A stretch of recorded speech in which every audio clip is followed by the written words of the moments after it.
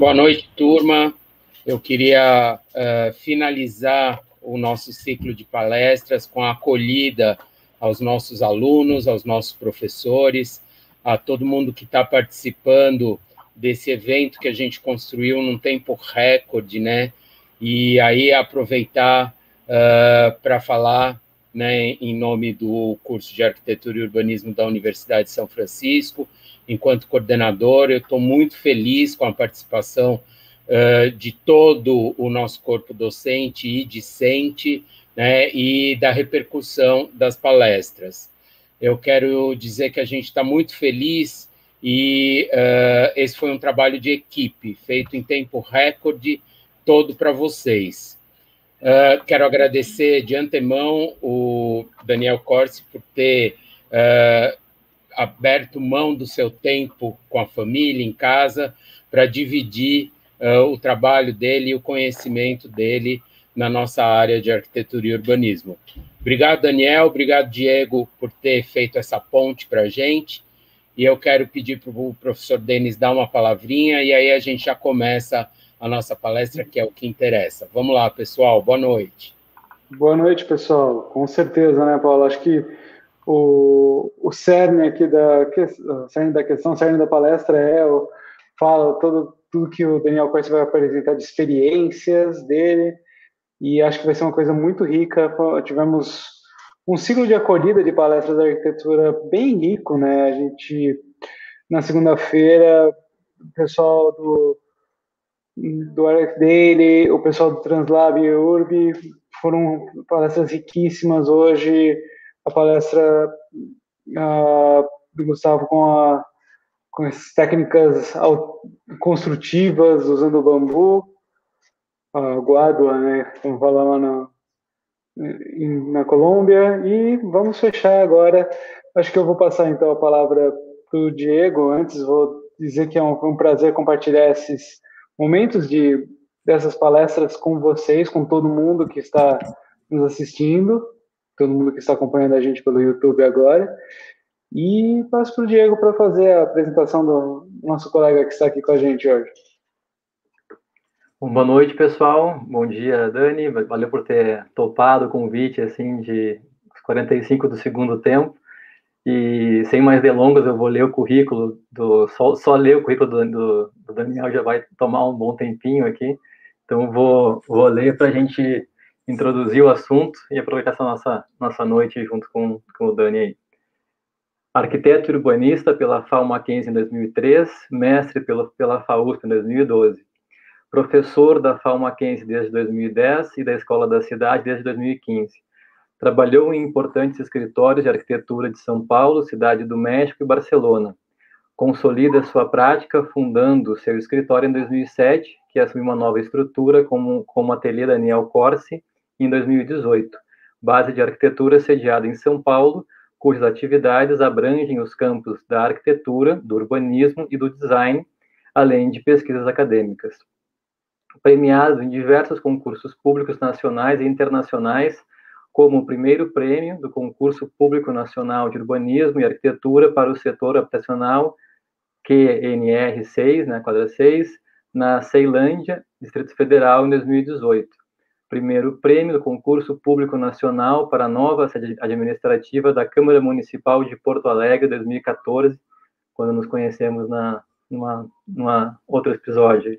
Primeiro prêmio concurso público internacional para o Museu Exploratório de Ciências da Unicamp 2009 e o primeiro prêmio concurso público nacional para o Complexo Trabalhista do TRF Goiânia 2007. Seus projetos já foram expostos no Brasil e no exterior, incluindo a 12ª, 14ª e 16ª Mostra Internazionale di Arquitectura della Biennale di Venezia, 2010, 2014 e 2018, e o DAM, Deutsche Museum em Frankfurt, 2013, onde a obra do Fórum Trabalhista em Goiânia passou a integrar a coleção permanente certo de que a prática da arquitetura também deve estar diretamente vinculada à reflexão acadêmica, mantém um forte vínculo com pesquisas, workshops e universidades.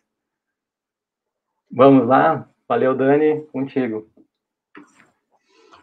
Boa noite a todos. É, queria, primeiramente, agradecer ao convite, agradecer à Universidade de São Francisco, à Faculdade de Arquitetura, uh, e também as figuras aí uh, do Denis, do Paulo e do Diego, principalmente, que foi quem me fez o convite diretamente, e com quem eu tenho uma amizade aí já de alguns anos acumuladas, né, Diego, em função da arquitetura, e que já é uma coisa muito interessante, né, de dizer que, para além do trabalho, a gente acaba é, conquistando muitas boas amizades por causa da arquitetura. Então, estou muito contente de estar aqui, agradeço a presença de todos os estudantes, alunos uh, e alunas, espero poder contribuir um pouco né, nessa noite é, para a reflexão de vocês, tá bom? Uh, posso começar? Me deem um sinal, vocês estão me ouvindo bem? Eu vou compartilhar minha tela aqui, só me confirmem que está tudo bem. É, deixa eu ver como é que eu faço aqui. Peraí, share. Uh,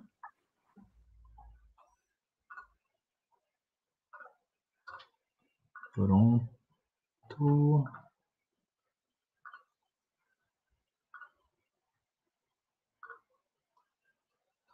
Sim, vocês estão vendo minha tela de começo. Posso ir? Ok, Diego está me confirmando aqui. Uh, vou só pedir um favor mesmo. Como eu não vou ver mais ninguém e só ouço, se acontecer algum problema no meio do caminho, por favor, alguém grite aqui para que eu possa saber.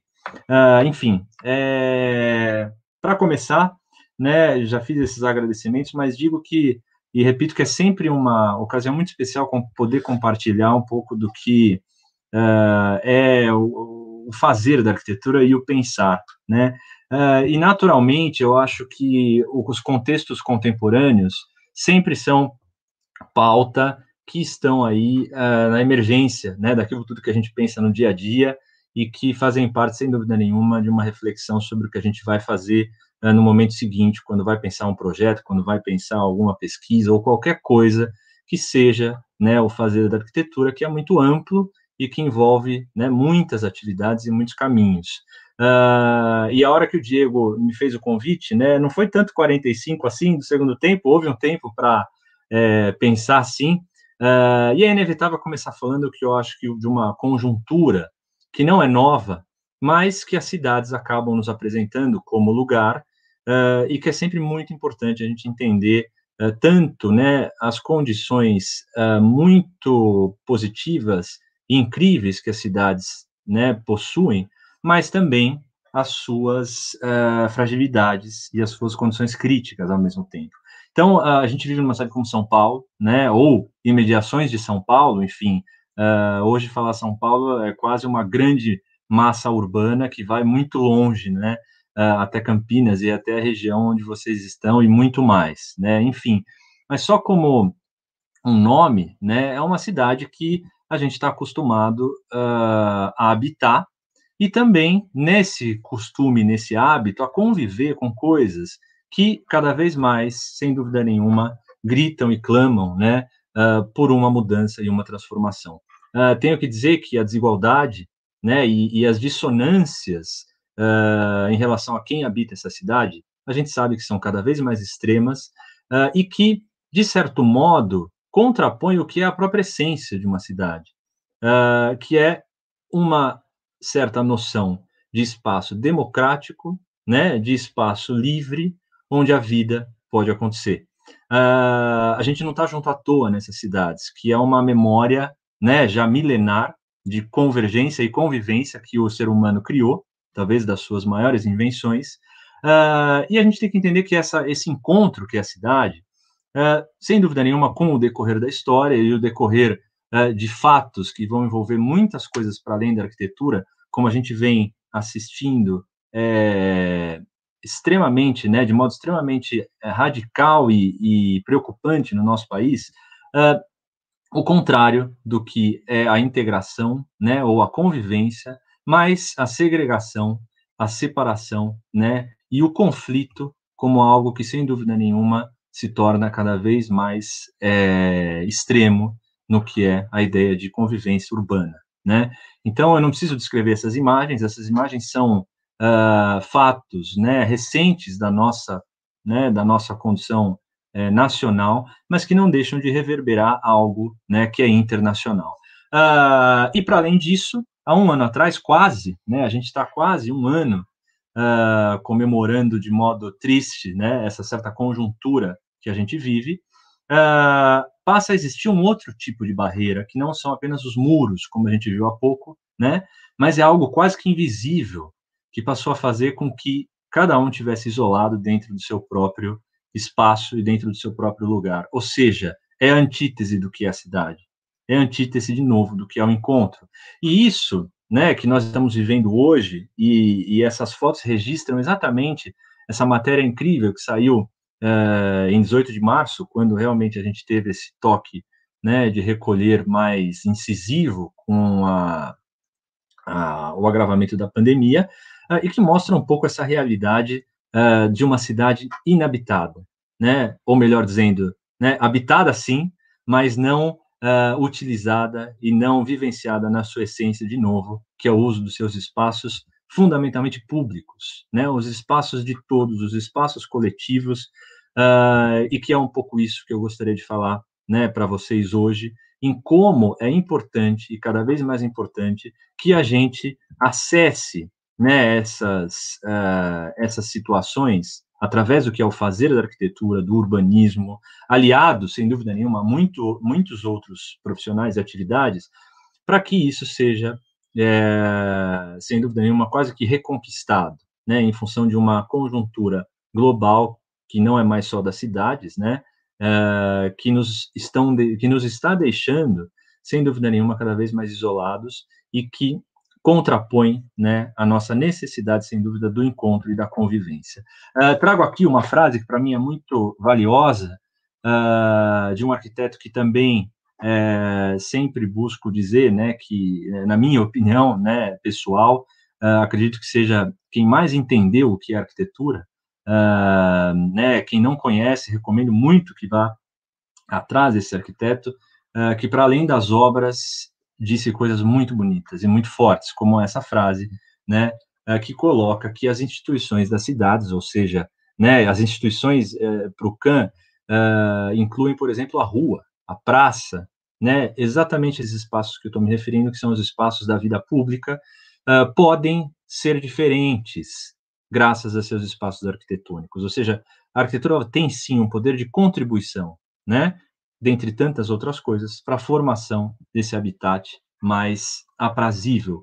E a gente tem um privilégio em nosso país, e só para pegar aqui três obras em São Paulo, né, de ter lugares incríveis com essas qualidades, que hoje, né, infelizmente, se encontram aí comprometidos também por isso tudo. Mas, enfim, a Marquise do Ibirapuera, é, tantos prédios como, só para ilustrar, né, a própria FAUSP uh, do Artigas, ou então o MASP, da Lina Bobardi, uh, que tem né, é, essa memória, que infelizmente hoje né, não acontece, de uma capacidade de permitir o encontro, seja ele pelo que for, né, uh, muito singular e muito rara no mundo.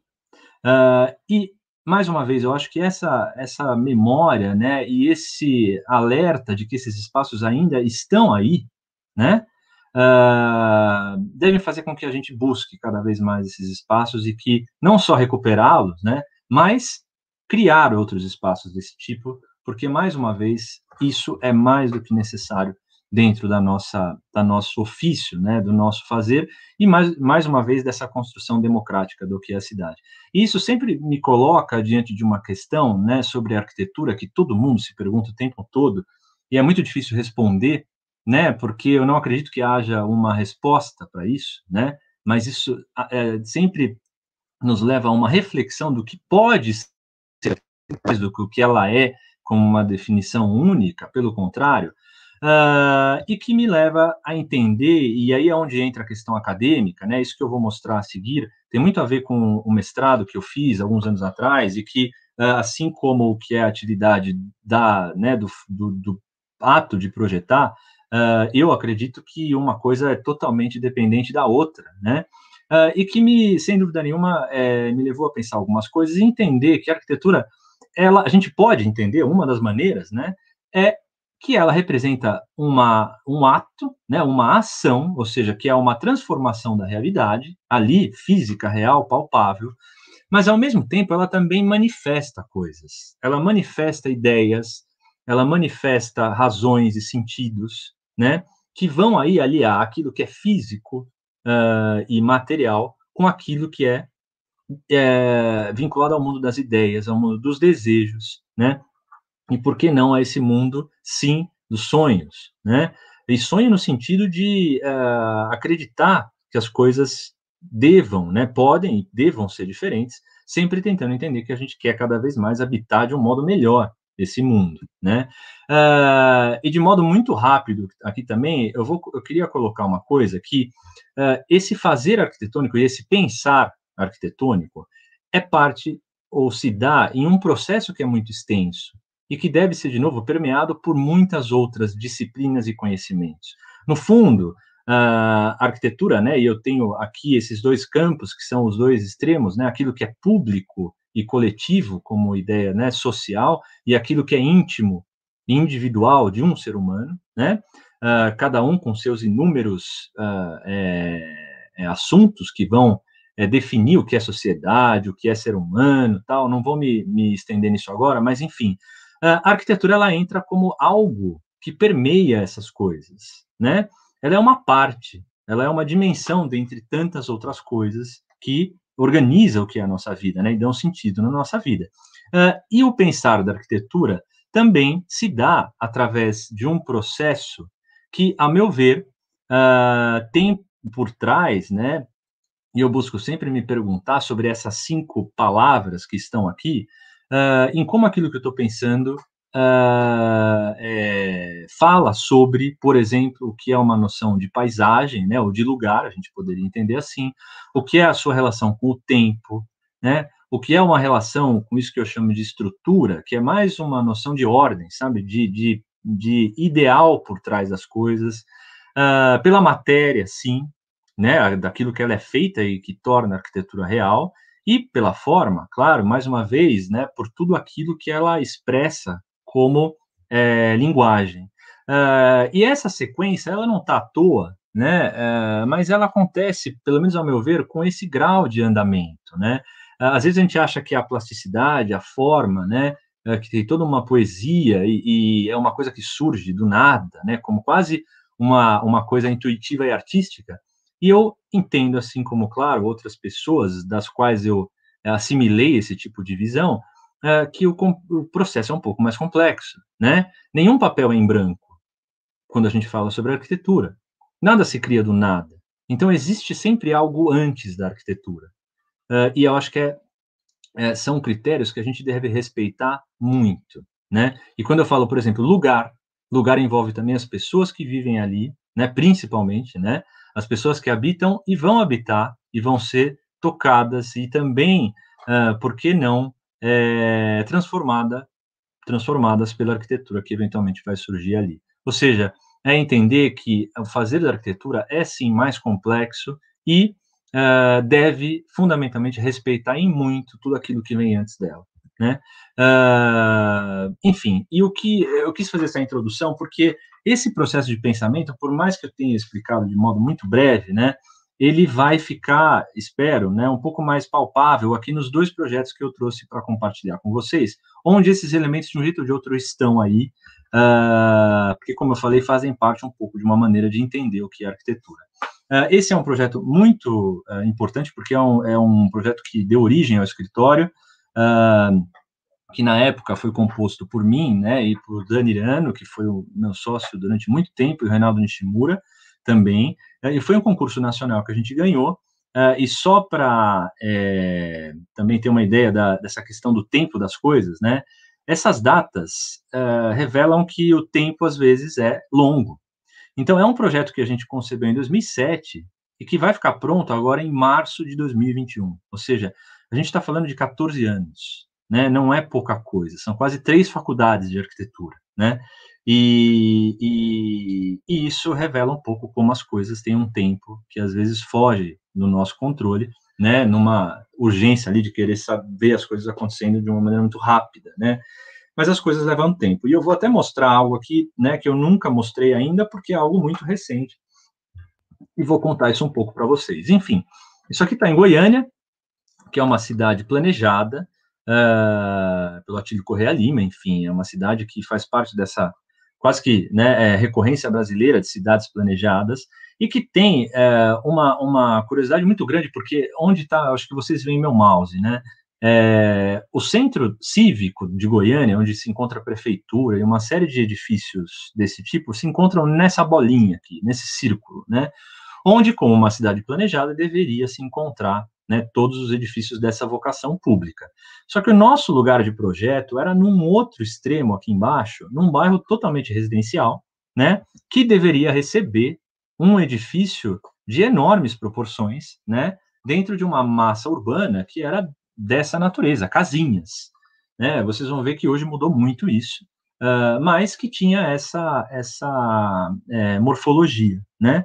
Uh, só para explicar por que, que isso era assim, porque esse quarteirão inteiro era, uh, já era, né, já pertencia ao Tribunal do Trabalho, e era necessário que houvesse uma implantação, uma ampliação, desculpa, uh, de grandes proporções nas suas instalações, porque o tribunal estava crescendo muito e esse era, né, essa era a diretriz do projeto.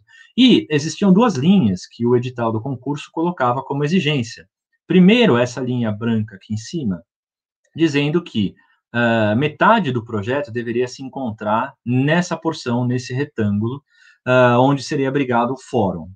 E uma outra coisa é que esse prédio em, em L, aqui na esquina, deveria ser um prédio né, preservado, porque era um prédio mais recente. O resto poderia uh, assumir qualquer nova forma. Uh, e é essa conjuntura de uma linha dada, que é a linha de cima, com outra linha, aí sim, de uma interpretação nossa em relação à questão, que fez com que surgisse uh, a estrutura conceitual básica desse projeto, que era definida assim por suas construções, como a gente já consegue ver aqui em cima, né, uma massa construída aqui, depois uma outra massa construída que a gente buscou integrar com o edifício existente, tornando isso uma coisa só, mas que como é, aspecto mais importante era a criação de um vazio nessa praça central, como um lugar público de grandes proporções que pudesse ser oferecido para essa esse bairro, né, e essa região da cidade que estava aqui ao redor. Uh, ou seja, é um projeto que passa a ter no vazio o seu momento mais importante. Claro que o resto não é menos importante, não é isso. Claro que as atividades que estão aí abrigada, abrigadas dão razão para essa coisa existir, né? O fórum, uh, os plenários, as instalações, né, administrativas tal. Mas para além disso, né, uh, era importantíssimo para nós que, acima de tudo, fosse oferecido um lugar para a cidade. Ou seja, entendendo que essas instituições públicas devem se comprometer com a construção da cidade democrática, sem dúvida nenhuma. Isso é algo que não estava pedido no edital. Ninguém pediu isso. E é muito interessante isso, porque acontece com muita frequência na arquitetura. E alguns arquitetos, inclusive, vão dizer que a arquitetura acontece onde não há programa onde não há o que é determinado. Pelo contrário, onde acontece aquilo que ninguém pediu e ninguém imaginava, e eventualmente seja aquilo o que há de mais importante. Então, a realização desse espaço público realmente era o grande norte do nosso projeto. Uh, só para a gente entender a escala, né? Uh, esse edifício, na época do concurso, ele tinha mais ou menos 50 mil metros quadrados, ele finaliza agora com 70, né? É um conjunto que cresceu muito ao longo do tempo, mas que preserva um pouco essa escala de um edifício de um lado com 10 andares, né, o outro com 6, né, tirando os subsolos, uh, e que a gente vai ver daqui a pouco, né, como são os programas e o funcionamento, mas aqui já é possível entender um pouco, né, a relação entre cheio e vazio, entre sólido, construído, e aquilo que não é construído.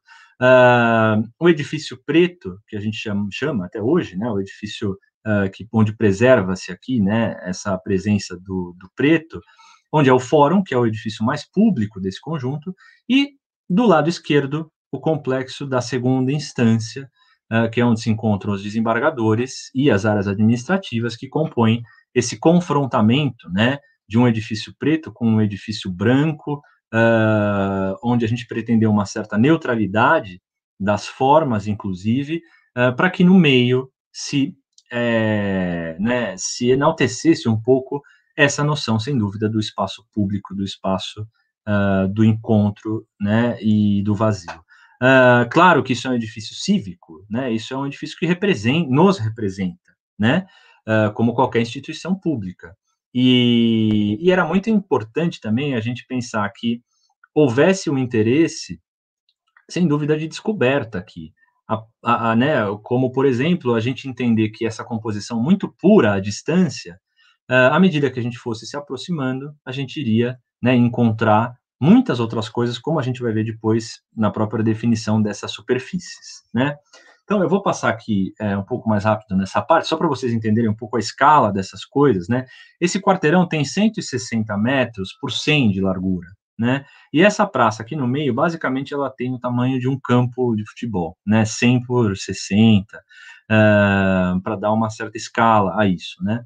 Então, é, a gente tem é, uma área muito grande é, de, de, áreas técnicas, né, e esses subsolos, mas à medida que a gente vai subindo, os programas vão aparecendo, né, e existem uma infinidade aqui, desde área né, é, clínica e médica até, óbvio, todas as questões relacionadas a um tribunal, mas é uma pequena cidade isso, né, e é importante dizer que o, o nível inferior é um nível onde esses, esses dois prédios, né, são totalmente interligados, que é o que a gente vê nessa planta, né? Então, abaixo dessa praça que está aqui, existe uma conexão que faz com que isso funcione como um único complexo. E no coração dessa praça se encontra esse plenário principal, que é um auditório, pensado não só para atender às demandas do tribunal, mas também para eventos que sejam né, da cidade, sejam culturais, o que for, mas que pudesse acolher outras coisas, né? Enfim, eu vou passar aqui essas plantas para não é, é, não, não, perder tanto tempo nisso. Uh, e uh, surge uma questão relacionada à materialidade, né, e à expressão desses edifícios, como eu comentava anteriormente, para além das suas funções, das suas circulações e né, todos os aspectos técnicos, é, e que nos trazia um desafio muito interessante. Por quê?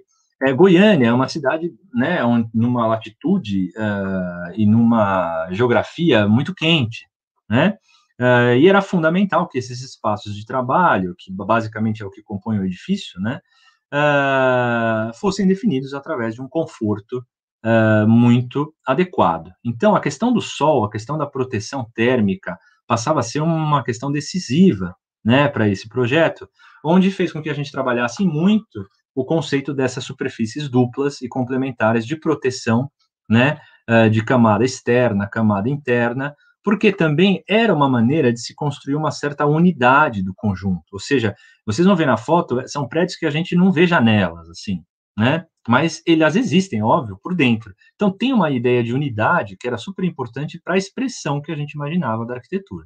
E a obra de grande escala é muito interessante porque permite a gente desenhar muita coisa. Então, foi um processo incrível de desenho, né? Uh, e criação desses, dessa tecnologia, porque a gente acabou desenhando tudo, né? Uh, todos os elementos de fixação e, e ancoragem, tudo, né? Uh, até o vidro, né? Que nas suas propriedades a gente acabou também podendo desenhar completamente. Isso passa por protótipos, passa por ensaios, né? E tem por trás também preocupações relacionadas a uma obra desse porte que tem que responder a uma racionalidade, né?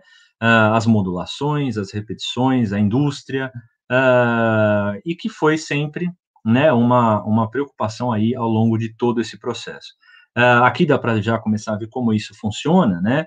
Uh, a fachada externa, que é isso que a gente está vendo aqui, aqui nesse essas fotos são do segundo prédio, né?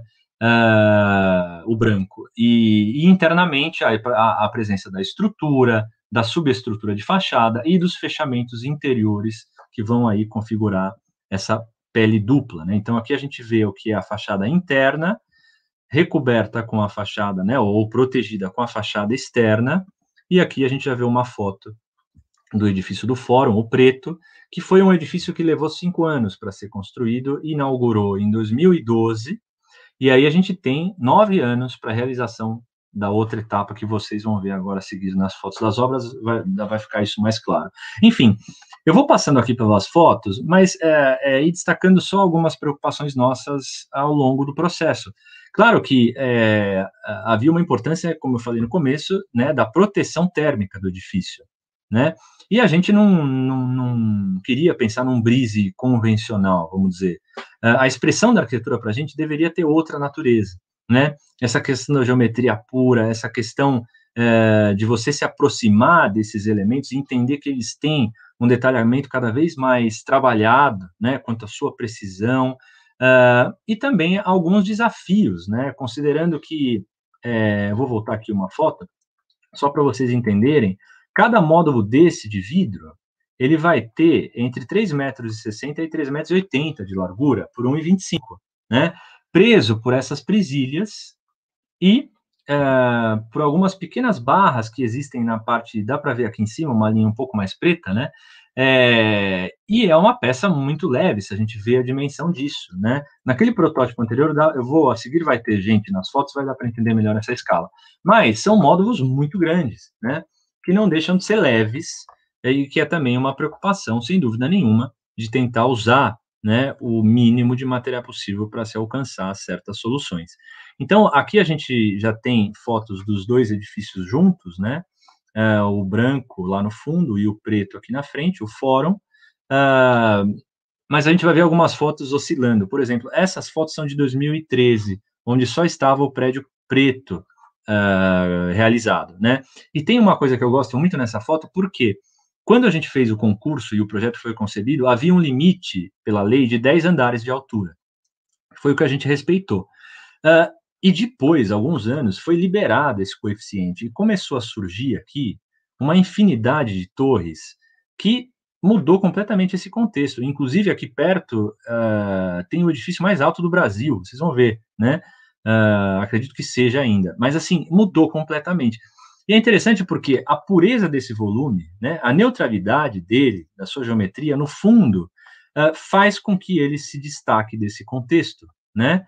tão cacofônico e cheio de coisas, como é o contexto de qualquer cidade, né? Uh, mas olha o tamanho dessas torres que passaram a surgir, né? De um jeito ou de outro, uma preocupação que passou a ser nossa, nossa, isso vai sumir, né? No fundo, não some, porque, de novo, a sua expressão é completamente diferente, né? Uh, então, aqui a gente vai enxergando um pouco, né, o efeito também do vidro como um material muito versátil nas suas mudanças, dependendo da luz, do, do clima, daquele dia, né? Uh, que vão nos colocando aí diante dessa, desse material que é de uma potência incrível e também que tem uma qualidade que é, é muito singular da sua manutenção durante o tempo. Né? O vidro é algo que praticamente não muda com o tempo uh, diferente de outros materiais. Então, é, é, realmente é algo muito especial. Aqui é o hall interno do fórum, que a gente também pensava como uma extensão da praça externa. Uh, isso tudo é público, qualquer um pode entrar aqui, né, não tem restrições, uh, mas é uma extensão da praça pública, como um abrigo mesmo, né, para qualquer um. Uh, e um lugar também, novamente, de encontro, né, um lugar de acolhimento. Aqui algumas fotos dessas uh, desses elementos de fachada que uh, definem tanto o prédio preto como o prédio branco, com algumas diferenças, né, que na foto às vezes a gente acaba percebendo que é a diferença da cor do vidro, da composição do vidro, uh, mas a essência é basicamente a mesma. Né? Uh, e aqui já são obras dessa segunda etapa de construção, onde passou a ser construída a praça e depois o edifício, o edifício dos desembargadores, né, Aqui dá para ver a mudança um pouco das fotos anteriores que a gente uh, observou. Uh, e aqui já a praça em execução, né? Uh, como eu falei, no coração dessa praça, a, a, a, o surgimento, né, desse sinal que é o plenário, porque a gente não entra nele pela praça, mas ele aparece, né? Ele, ele se revela como algo que caracteriza muito a própria arquitetura do Oscar Niemeyer, né? Uma herança brasileira aí uh, de muito significado para esses edifícios de vocação pública, né? E que criam essas, esses diálogos e essas relações, sem dúvida nenhuma, importantes de identidade, né? Uh, a praça, a gente acabou por desenhar também vários elementos aqui que compõem alguns uh, estares, vamos dizer, né?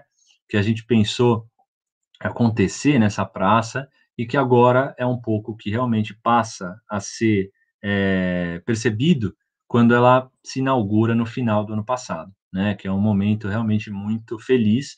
Então, essa obra, ela foi inaugurada no dia 30 de novembro do ano passado, mas ela ainda não está plenamente ocupada, porque dentro desses edifícios aqui ainda tem alguns setores que estão sendo concluídos, mas em março agora é a data, aí sim, né, disso ficar 100% concluído e que depois de 14 anos vai ser motivo de muita comemoração, né?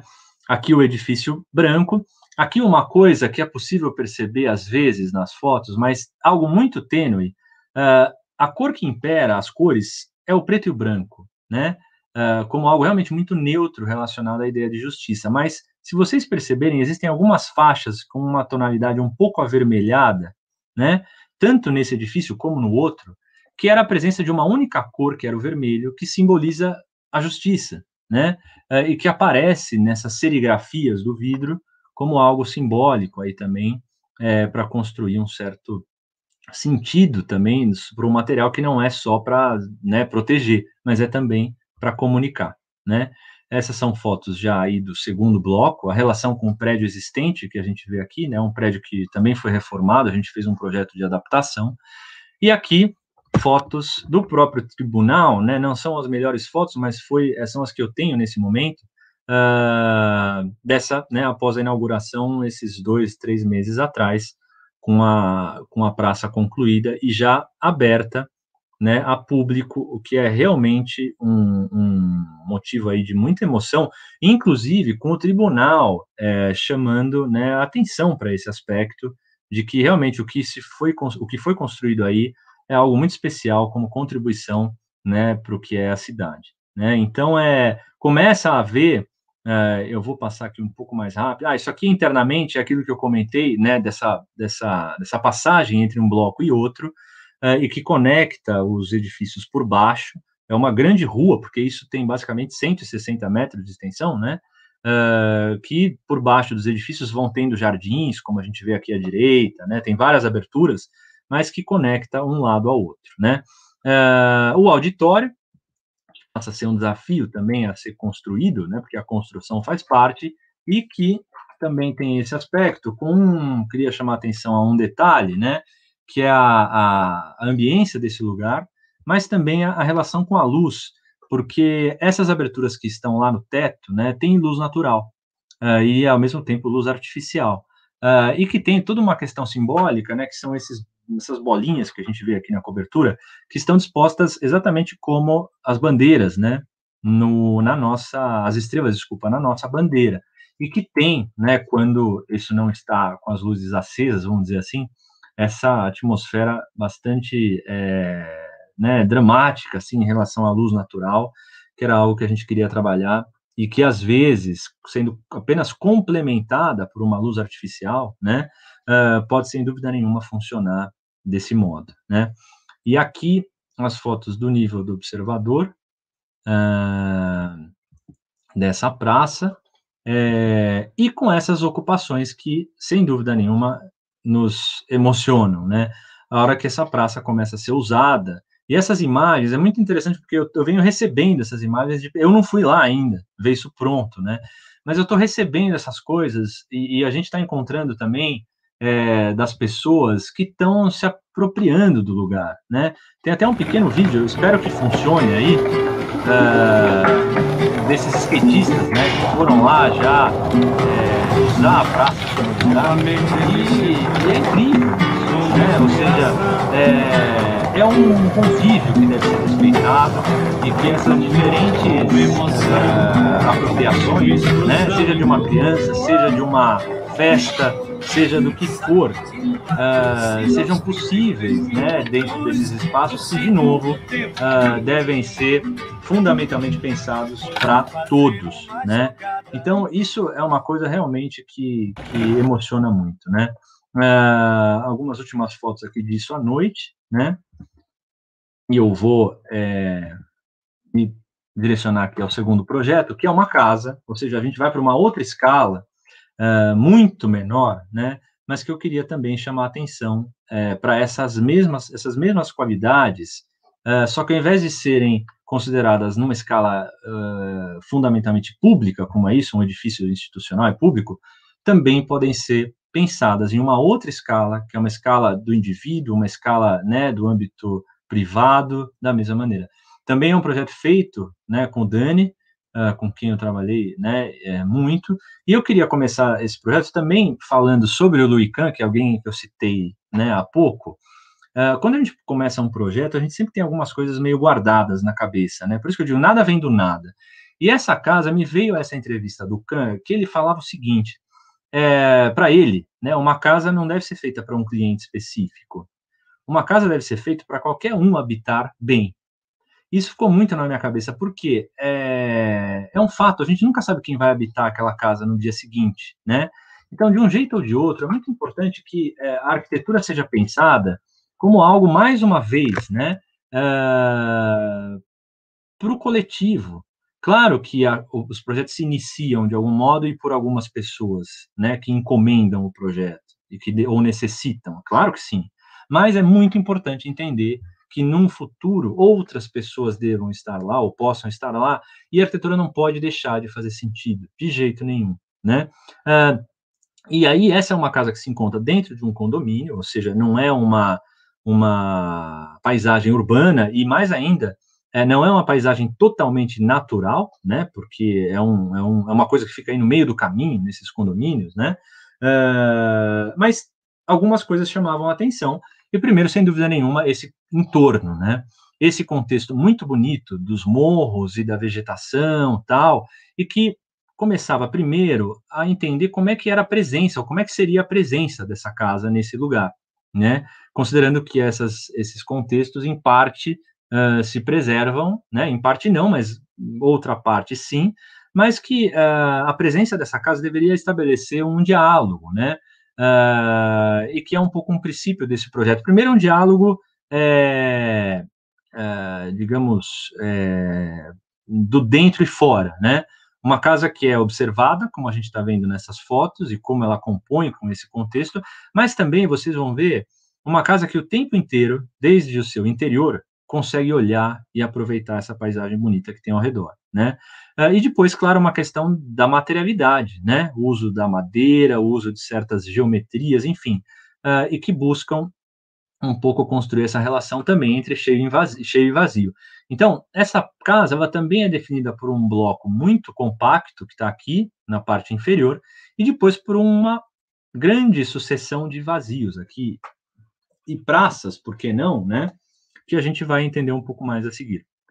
Olhando o volume, a gente tem também essa ideia né, de algo que esconde o que tem atrás, né, e que não se revela de uma vez, e é algo que vocês vão entender depois com as fotos nesse percurso. Então, aqui, basicamente, né, a estrutura da casa, né, com esse bloco principal, que é onde está praticamente né, todo o programa, uh, a sala principal, que está sobre essa, sob né, essa cobertura aqui, que vai estar apoiada em quatro pilares, e depois essa sequência nesse eixo vermelho das praças, que cada uma vai ter um pouco uma vocação, né, é o que a gente já começa a ver aqui de modo mais claro nesse, nessa implantação, a rua, esse terreno era um terreno de esquina, é um terreno de esquina, né, o que o torna muito peculiar e muito uh, rico em relações, porque ele se abre para dois lados.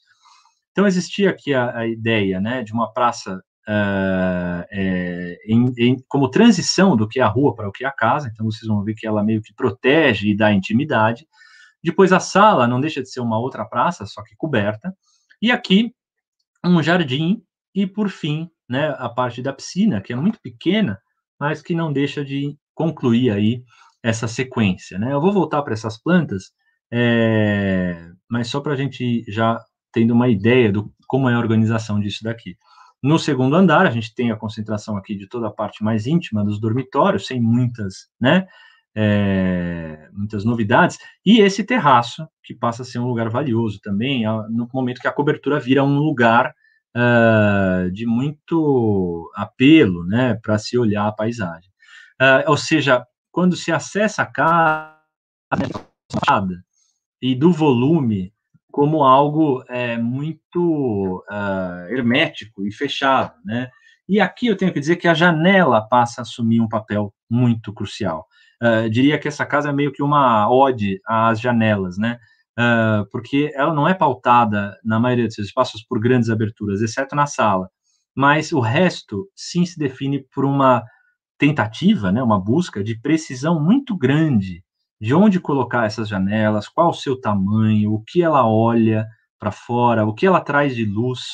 E isso vem um pouco numa num, até num confrontamento, né, com uma ideia muito moderna e que a gente vê ainda bastante presente na produção da arquitetura, uh, que é uh, essa noção, né, que a janela deixa de existir. E o que a gente sempre tem são grandes planos de vidro, como é essa imagem que é linda, que é uma imagem do Miss van der Rohe. A anterior é um croquis do Corbusier sobre o Rio de Janeiro, quando ele faz uma das suas visitas aqui, dizendo: olha, eu tenho que trazer a paisagem inteira para dentro da, né, da casa. Então não tem janela, é uma grande vitrine o que é lindo, né? Jamais. Mas uh, o que me fez pensar nisso foi uma palestra do Eduardo Souto de Moura, um português, né? Uh, é, dos maiores arquitetos né, que a gente tem atualmente, e que ele falava basicamente isso. Uh, nós esquecemos de pensar janelas. Uh, isso me marcou muito, porque era tão bonito, né, uh, esse elemento simbólico da arquitetura, a janela, e, e, não só por isso, mas porque a gente vai entender também que é muito diferente as relações que se constroem quando a gente tem esse tipo de condição panorâmica, né, onde a gente vê tudo e também onde tudo se vê de fora para dentro, tem os dois lados, e quando a gente tem a noção de janela, de escolher aquilo que olhar, né? Não estou dizendo que um está certo e outro é errado, de jeito nenhum, porque às vezes é isso que está na tela que faz sentido mas às vezes pode ser outra coisa, né? Como, por exemplo, a arquitetura desse outro arquiteto mexicano, chamado Luiz Barragan, que era um, um mestre nesse aspecto, porque grande parte das suas janelas, como a gente vê aqui, não serviam para olhar para fora necessariamente, né? Mas serviam para trabalhar a luz, né? Como essa, que é antológica, né?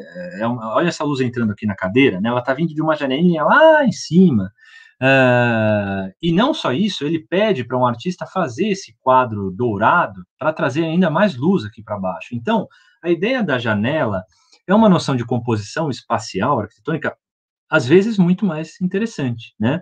E foi um pouco isso que a gente passou nesse projeto. Esses, essa sequência de croquis mostra, né, essa, esse trabalho de um volume uh, bruto e sólido que vai sendo uh, esculpido né, como subtrações e aberturas, para exatamente a gente alcançar esse negócio. E aí tem uma outra coisa que é uma dimensão da arquitetura que não precisa ser estática.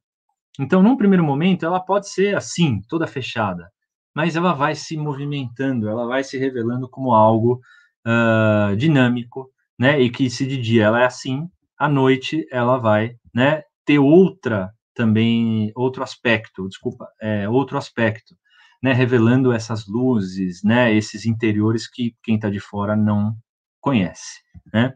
Uh, aqui, só para fazer um giro em relação a essas, uh, esses dois espaços, né, a outra fachada, que também passa a ser muito interessante para a gente, era né, em como trabalhar a intimidade, mas ao mesmo tempo, como a gente vê aqui também, uma intimidade que pode ser é, sempre é, alterada. De um jeito ou de outro, essa praça do fundo, vocês vão ver nas fotos, esses painéis são painéis com contrapeso, eles não têm nenhuma máquina. Uh, e são painéis que, horas, podem proteger o interior da casa e, ora, podem virar um guarda-sol, vamos dizer assim, né? uma proteção, uma sombra, manipulado de um jeito muito fácil e leve, né? Então, é, e uma outra coisa, para além das aberturas e janelas, tudo isso que eu estou falando, era também uma certa é, composição de volume espacial. Então, tem várias subtrações dentro desse projeto que vocês vão ver que geram vazios, geram pátios, uh, e que é um pouco nessa planta, né? Vai começar a ficar claro, porque a minha seta, né, está mostrando aqui o acesso da casa, então tem um pátio aqui, vocês vão ver, e aí a gente acessa, olhando para essa grande sala, né, que se abre para os terraços, aqui está a cozinha, que integra isso num único lugar, uh, e no, no ambiente superior, que passam a existir outros vazios aqui, uh, que vocês também vão perceber melhor nas fotos. Né? Eu vou passar um pouco mais rápido aqui nesses cortes, uh, mas dá para ver, por exemplo, como esse, né? Esse é um corte onde basicamente a maioria do, do corte em si é um vazio, né? Ao passo que aqui é diferente, né? Mas eu não deixo de ter subtrações que trazem iluminação, trazem jardins, né? E, e essa noção do, da descoberta, né, da curiosidade, do mistério, mais uma vez aparece aqui, quando a gente, eu vou simular aqui um percurso, né, e a gente entende que isso não é uma, uma porta, mas é um pórtico, é uma passagem que nos leva para um primeiro lugar antes de entrar na casa, que é realmente um espaço de transição, né, um, com a presença da água, uh, com a presença, né, do céu, como mais uma janela, né, que não olha necessariamente para a paisagem, mas olha né, para o céu, para uma outra dimensão, uh, e que vai né, realizando essa, essa sequência, onde a própria água, por exemplo, aqui à esquerda, é capaz de trazer o céu de novo para o chão. Né? Então, tem uma série de nuances assim de como trabalhar isso, é, ou essa janela que está no chão, né? olha só, é uma janela que não é para enxergar ninguém, né? mas é para realmente construir esses, essas experiências. Né? Então, essa é a sala principal que eu comentei, né, com esses painéis de vidro que são muito versáteis e, quando desejado, podem tornar isso uma varanda mais do que uma sala, né? A iluminação sempre muito presente, tanto na, nos panos verticais, mas também como nas coberturas que a gente vê aqui, né? E também aqui, né? Olha, à esquerda, a luz natural também entrando. Então, é, o trabalho das visuais e da luz, né? O jardim interno aqui, como um jardim que invade o interior da casa, é uma maneira de fazer com que essa noção da paisagem exterior, né? Realmente conquiste os espaços internos da arquitetura e a gente consiga construir uma relação com aquilo que é natural, vamos dizer, né? Ou pretende ser natural, mais rica, né? Uh, enfim, aqui já dá para ver também, né, esse terraço que tem lá em cima, com esse guarda-corpo, mas também, né, a, as vistas, né, que a gente olha um dos lados, que é o lado, né, da, do, da rua que está aqui, uh, e que tem esse jardim com essa, esse conjunto de papiros que serve para, de certo modo, criar uma certa intimidade, né, mas que não deixa também de trazer movimento, né, de trazer uh, essa coisa inusitada da presença natural que vai sempre se transformando, né?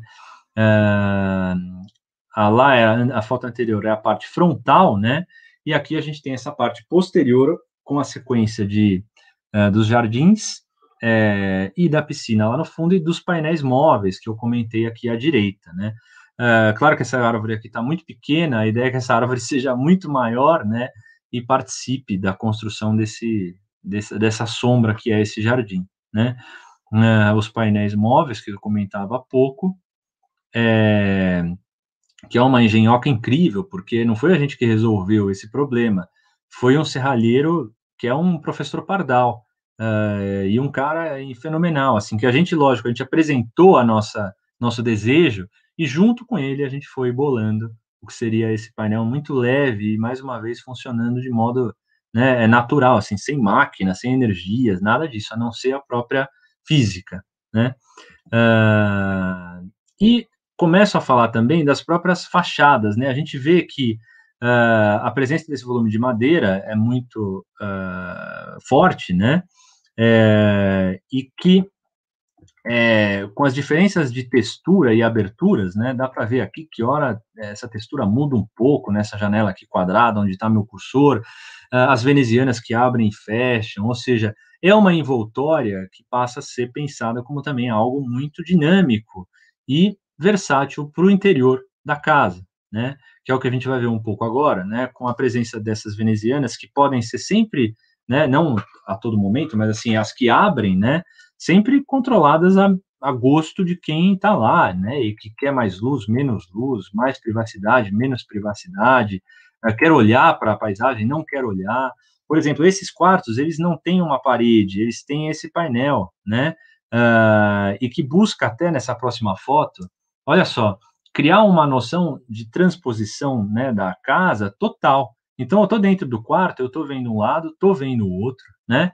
Eh, e a luz sempre participando desse ambiente, né?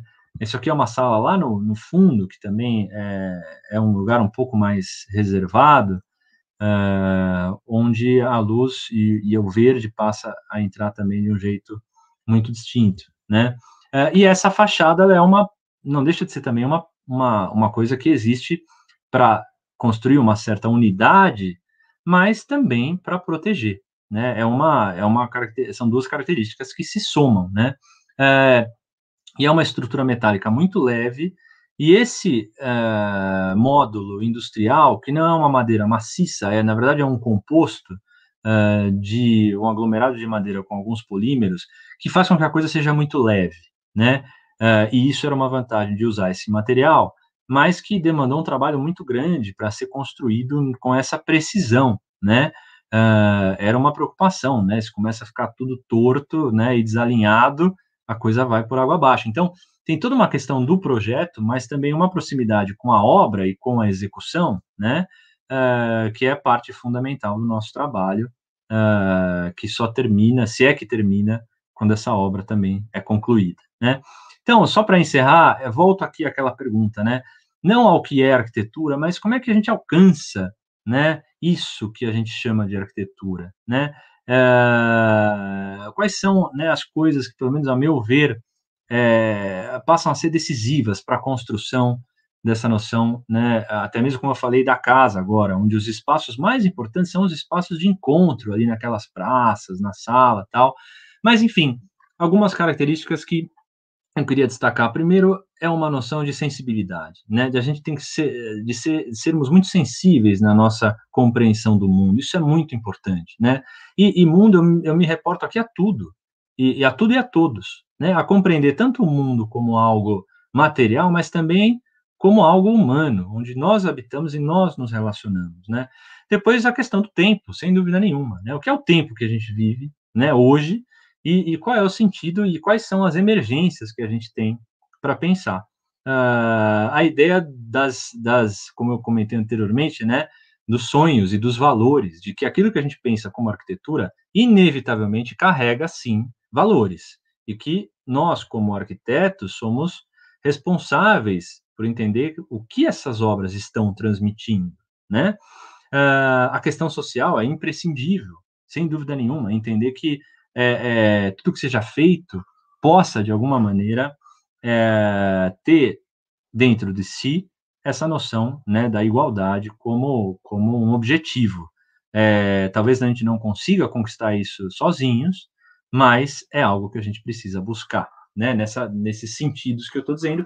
E, por fim, o encontro, mais uma vez, né, que quero chamar muito atenção a esse, esse aspecto, que é o encontro e a convivência, né, para que isso consiga é, ser alcançado da maneira mais é, urgente possível, né, para que a gente consiga conviver de maneiras muito mais aprazíveis do que a história, né, às vezes nos conduziu. Então, é, encerro por aqui. Né, queria agradecer, desculpa se eu passei um pouco do tempo, mas enfim, é, agradeço é, é, a atenção de vocês e muito obrigado pela, pela companhia.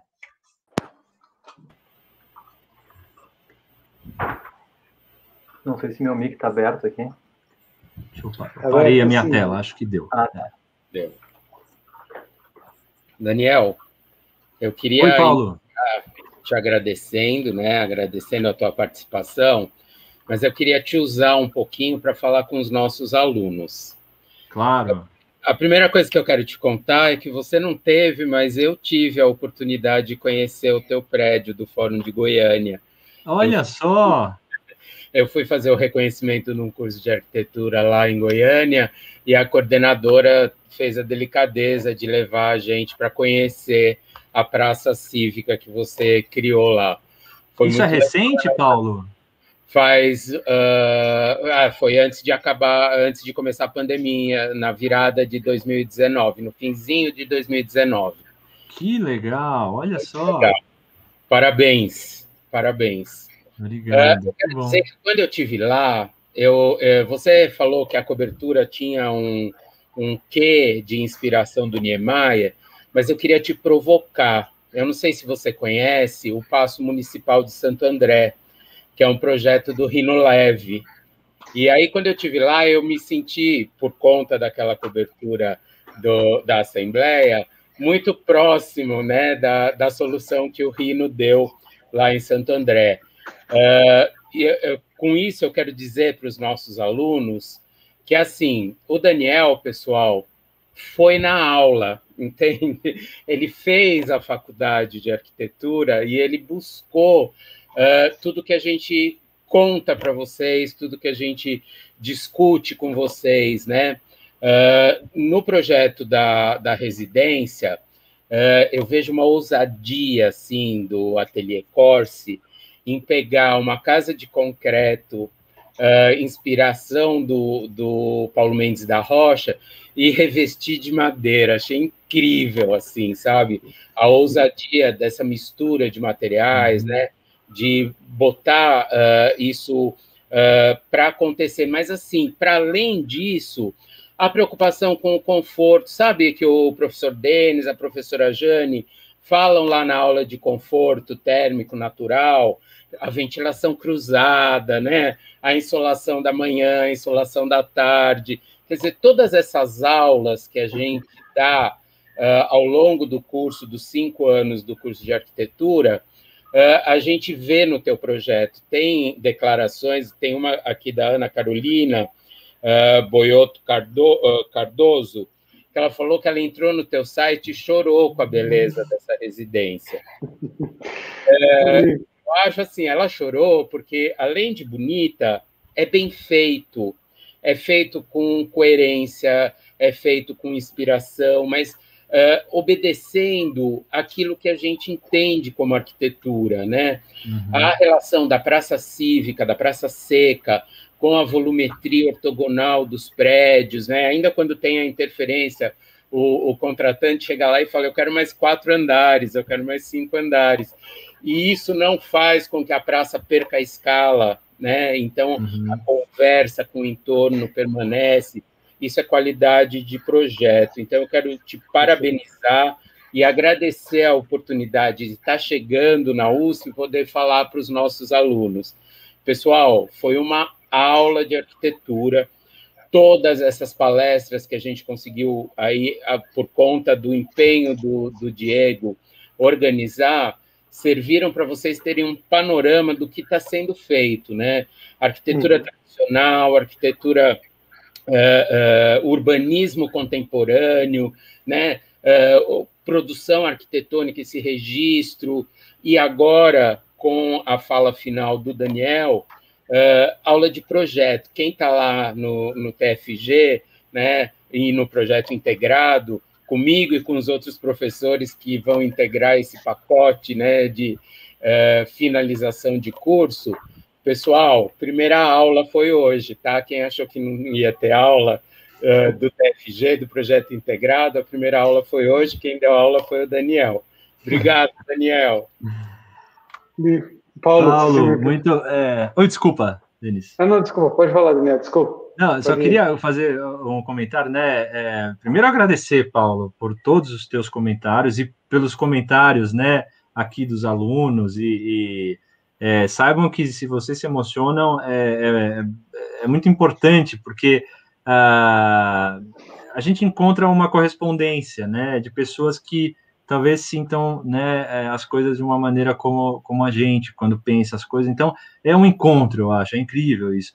E, e é, agradeço muito aos teus comentários, Paulo. Acho que é realmente um compartilhamento aqui. Uh, é uma maneira de pensar, né, que eu não acho que seja única, pelo contrário, eu acho que é muito importante é, a gente ir descobrindo e, e, compreendendo quais são as nossas, né, as nossas buscas e as nossas premissas, uh, porque no fundo tem uma parcela nesses processos todos que é daquilo que a gente acredita, no fundo, que é o que move as nossas ideias, né? E, e daquilo que a gente vive, né? E tem uma coisa que você falou que para mim foi, foi muito peculiar, viu? Porque uh, eu sou de Santo André. Então, olha só, uh, eu cresci andando de bicicleta naquelas praças do Passo.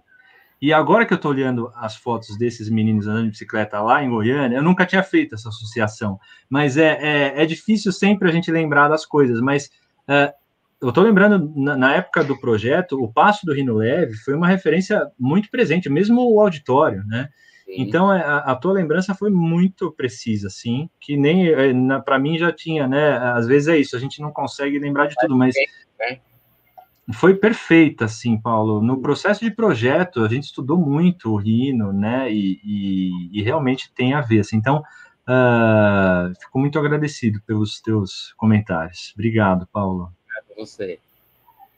Aproveitando, puxando então a, conversa, realmente foi uma aula de projeto assim maravilhosa. Eu acho que muito muito sensível a forma como você projeta, Daniel. Acho que é muito interessante.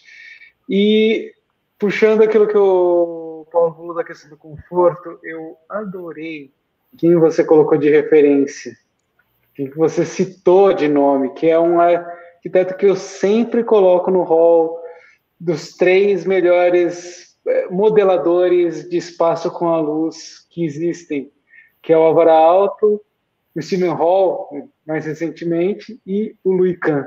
Acho que esses são os três arquitetos que conseguem pegar a luz e transformar como se fosse em tijolo. É material da arquitetura, de uma maneira assim uh, muito sensível e, delicada, ao mesmo tempo extremamente presente. E eu enxergo essas questões quando você mostrou isso, isso na casa. Exatamente uma inspiração nesse, nessa ideia do Kahn, essa ideia do, do do usar a luz como parte do projeto, e aí também vira até como comentários dos alunos aqui, dos alunos e colegas que realmente perguntaram essa questão de a questão da luz, se realmente é concepção do projeto, dire, é, move realmente a concepção de todo o projeto, a questão do conforto também, da parte térmica, com aquela, aquele material que se aplicou na, no passo, uhum. praça, no prédio da Praça Cívica. Então, o pessoal sentiu realmente que tem essa parte da preocupação. Provavelmente você não, como eu falo para eles, importante quando você as disciplinas, né, as componentes curriculares, o que a gente faz na faculdade não é para que todo mundo se forme para, como eu falo brincando, pessoal, não é para ser conforteiro, como no caso, quando eu, dou, eu e a Jane uhum. damos aula de conforto, não é para virar uhum. conforteiro, mas para entender que isso faz parte do projeto, assim como a estrutura, assim como os materiais, assim como o urbano, assim como projeto de arquitetura, assim como paisagismo. Então, tudo faz parte de um pacote que a gente vai usar o tempo inteiro. Acho que é, acho que é isso que também você também sente, né, Daniel? Sem dúvida, Denis. É, incríveis, assim, teus comentários, e eu me identifico muito com o que você falou. Uh, primeiro com os nomes, né, que você citou aí, que a gente compartilha. Uh, e depois, eu acho que chamando a atenção, e eu até peço desculpas, pessoal, eu não, eu não tô lendo as mensagens aqui, porque senão eu não me concentro, mas eu vou ler todas, tá? E, e o Denis está me contando aqui de alguns comentários em relação a essa coisa da luz, né, da sensibilidade. Uh, eu acho que isso é um, um aspecto, uma característica que, para mim, por exemplo, eu sempre busco estudar na figura de arquitetos como esses que o Denis citou, né? E não é fácil fazer isso. Eu acho que da, a maneira que eles fazem, assim, não é à toa que eles são quem são, e as obras que eles realizaram são é, excepcionais, porque é, é, é muito é, forte, né? Isso tudo. É, e elas são inspiradoras, eu acho que isso que é importante. Elas nos inspiram a buscar aquilo. Se a gente vai fazer ou não, eu não sei, mas elas nos inspiram, né? E, e uma outra coisa, eu acho que essa, duas, né? Desculpa, a questão da sensibilidade realmente eu acho algo muito importante.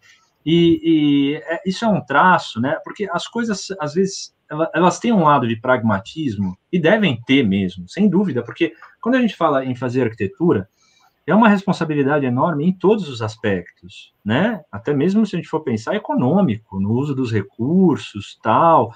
Uh, então, tem toda uma questão pragmática no, no fazer da arquitetura que está ali. De um, só que, de outro modo, eu acho que se a gente subtrai essa dimensão sensível, né, poética, uh, da delicadeza e de entender o que, que, o outro vai olhar, vai sentir, vai. Uh, eu acho que a gente tira uma coisa que também é tão fundamental quanto, né? Uh, então, é muito importante que a gente nunca esqueça disso. Eu, eu falo isso com muita frequência para os meus alunos, né? É, tem uma parcela que a gente tem que resolver do projeto. E tudo bem, aquilo é imprescindível, tem que estar resolvido. Agora, tem um outro lado que cada um vai colocar do seu ali, né? É, do que a, a, gente imagina que deva acontecer como experiência daquele lugar. E cada um vai responder de uma maneira diferente, e aí tá a magia da coisa, né? Porque a arquitetura é uma liberdade, é um exercício de liberdade, cada um exerce e, e coloca e faz da maneira que, que for. Uh, então, acho que isso da sensibilidade é uma outra coisa muito importante. E, e por fim, uh, uma coisa também eu acho importante de destacar, isso que o Denis e o Paulo também comentou, né? Uh, da preocupação com vários assuntos ao se pensar um projeto, né? A questão do conforto, a questão da funcionalidade, é, sem dúvida isso é, é, é elementar para aquilo que a gente faz. E, mas é importante também dizer que existem falhas nesses processos. E os projetos também têm problemas. E isso é, faz parte, né? Uh, e, e, é importante essa consciência que a gente vá aprendendo com essas coisas. Tudo é um processo de aprendizado, né? Então, se pegar a casa, tem os seus pontos ali, de algum dia a gente chega lá e fala, nossa, aqui está entrando mais luz do que a gente imaginava, ou então, né, sei lá, o projeto maior do tribunal, ainda mais coisas e tem coisas que a gente muda na obra, né? Essa casa, por exemplo, teve janela que a gente quis fazer na obra. Peraí, é bom ter uma janela aqui. Ou então o cliente ir na obra e fala, mas por que a gente não pode olhar para aquele lado? E a gente não tinha pensado nisso. Então, vamos atrás, perfeito, legal. Então, tem muitos acontecimentos que vão se somando ao longo desse processo e que é, fazem um, parte um pouco dessa construção de muitas pessoas que são, né, fazem parte da, do que é construir alguma coisa, né? Uh, fazer arquitetura é algo muito coletivo. Talvez é, ela se inicie, né, como ideia, é, nas nossas mãos, como arquitetos e arquitetas. Mas a gente é parte, né, uh, de um processo que é muito maior e muito mais abrangente e que é muito bacana quando ele é contagiado por quem está participando, né? Que isso é muito legal. Muito legal, Dani. Eu acho né, a obra do Dani uma sensibilidade tremenda, assim, e, e também, assim, é, mostrou de duas obras, né, em latitudes diferentes, altitudes diferentes, escalas, né, opostas, basicamente, acima do indivíduo, uma de um pedaço que tem influência no território, assim, né, mas a gente pode ter uma tipo, analogia como uma às vezes é o trecho da outra, assim, né? São pedaços que vão meio que somando e montando um todo, né? Tem essas duas ideias de dois, duas placas, né? Uma hora um volume e uma placa na residência, que conforma um espaço que se relaciona com uma área muito mais abrangente do que a do que ensina. E aí na, no, no, no, tribunal é, é a praça que olha para a cidade, né? E ali é a praça que olha para aquele entorno mais natural, de certa forma, né? Então a gente vê em várias obras do Artigas, não tem várias que são assim, né, do Ângelo Butti também, que a gente vê assim várias como essa obra é um trecho daquela que vai se compondo uhum. uma, toda uma ideia, assim, né? E o que me lembrou dessas duas também, é, eu estava num trabalho que eu mergulhei um pouco agora no, no João Cabral de Melo Neto, e aí ele tem a fábula de uma para ou de um arquiteto que é um, incrível, assim, né? Aí ele fala que arquitetura é como construir portas de abrir ou como construir o aberto.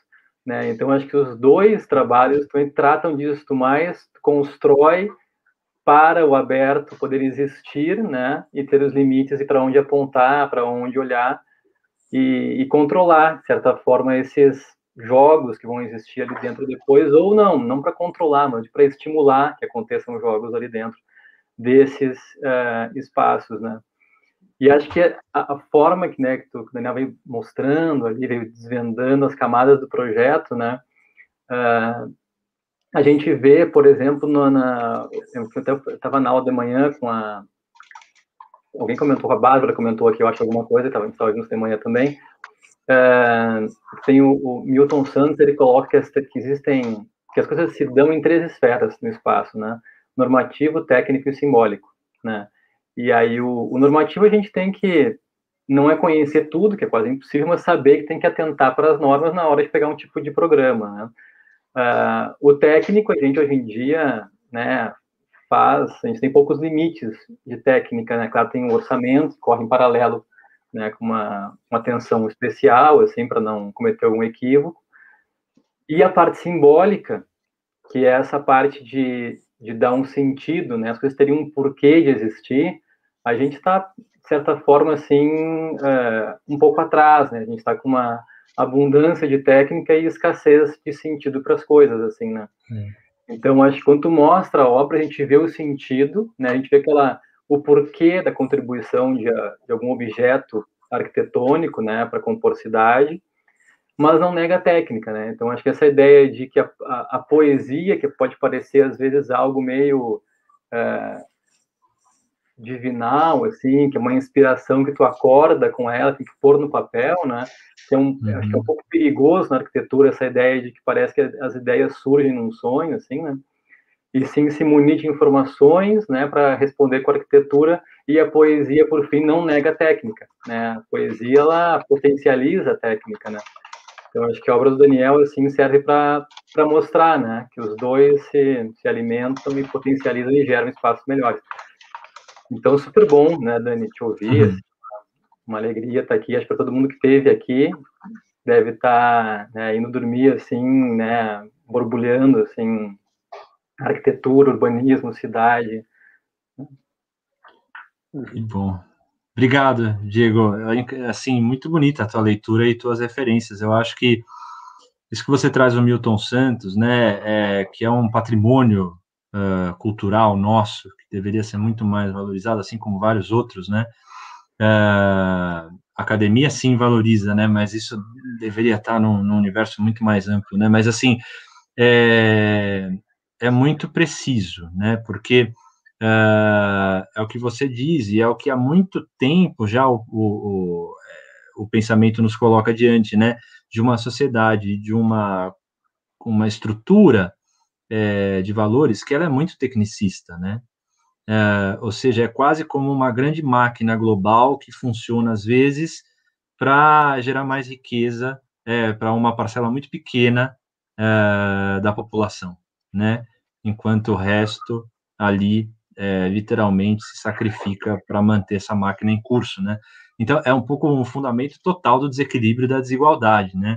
Uh, e, e, e, por outro lado, é, é, essa dimensão poética, né, e, e, é bem isso que você falou, né, às vezes a gente acha que isso é um pouco, quase que acessório, e não é o que está ali resolvendo as coisas, né, mas é, é, por outro lado, muitos dizem que é fundamental, porque se isso se perde, aí sim que a coisa realmente desanda, né.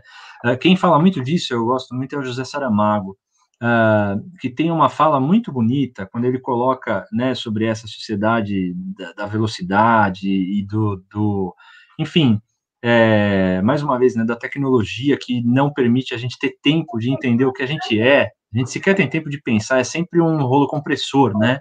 Uh, isso está em tudo, está na informação, está uh, em tudo, está nos nossos horários, está em tudo, assim, né? E ele coloca que uh, um medo dele, né, é que cada vez mais a gente se sinta perdido, né?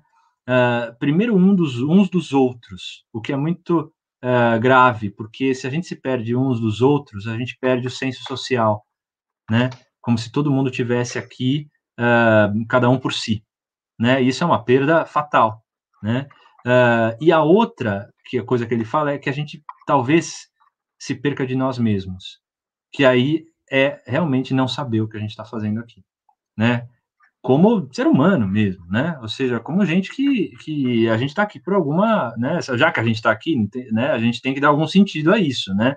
Uh, então, é, essa fala do Saramago me marca muito quando a gente conversa sobre essas coisas, porque essa dimensão poética, né? Sensível, no fundo fala disso. Fala, peraí, a gente precisa sim é, construir o tempo dessa reflexão, né, o tempo dessa, é, dessa dúvida, de falar, olha, o que, que tá, faz sentido no que a gente faz hoje, o que, que não faz. Mas, assim, em suma, eu tô, talvez esteja falando de um jeito abstrato, mas o que eu quero dizer é o seguinte, ali, no momento que a gente está trabalhando, a gente também deve se perguntar sobre isso, né? O que, que eu estou fazendo? Qual o sentido daquilo que eu estou fazendo? Né? Então, talvez o Saramago fale lá de um jeito muito mais amplo né, e vago, mas se a gente traz para o âmbito né, é, ali do cotidiano, no fundo, é sim é, a necessidade de a gente ter uma consciência, primeiro, sobre nós mesmos, né, e sobre o outro, de entender que qualquer coisa que a gente faça, ainda mais arquitetura, né? Sempre vai reverberar no outro, sempre. A arquitetura tem essa magia e essa responsabilidade de que qualquer coisa que faça sempre vai reverberar no outro. Pode ser qualquer coisa. Pode ser uma casinha de cachorro, não sei, mas sabe, uh, sempre vai reverberar no outro. E isso traz junto uma noção de responsabilidade que é fundamental, porque você acaba sendo, sim, responsável pelo outro. Então, uh, eu acho que isso, para a gente, para nós arquitetos, é muito importante, né? Que estejamos sempre alertas. Isso vai mudando, tem que ir mudando, né? Porque o mundo muda numa velocidade absurda e a gente tem que estar atento, né? É, é, ou seja, por fim, né? Qual o sentido daquilo que a gente está fazendo, tanto como uh, indivíduo, mas como grupo, né? Como conjunto que estamos aqui hoje, né? Fazendo exatamente isso. Ou seja, vocês, pelo que eu entendi, fizeram isso o dia inteiro e é incrível. Isso tem que ser muito valorizado, né? Que é a oportunidade da troca, é a oportunidade do pensamento, uh, do encontro de diferenças, do encontro de né, é, direcionamentos que são sim iguais e compartilhados, mas isso é muito importante para que a gente consiga né, avançar de um jeito né, mais equilibrado. Né.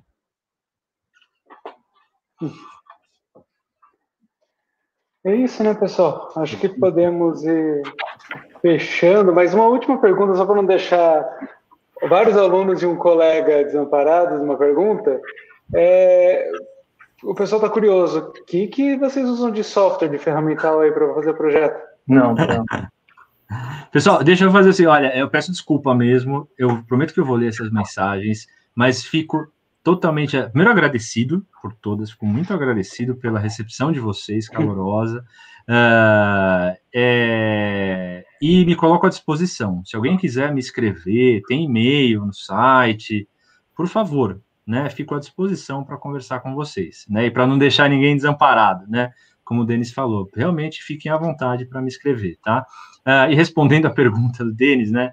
É, ou de algum aluno, não sei quem, mas né, são várias coisas assim, mas eu diria que nada anormal, né? Mas é, a gente usa um grupo de programas é, para se realizar esse conjunto. A gente não está num programa só, isso que é importante, mas assim, uh, o CAD é básico? É básico. O Photoshop é básico nisso tudo? É básico.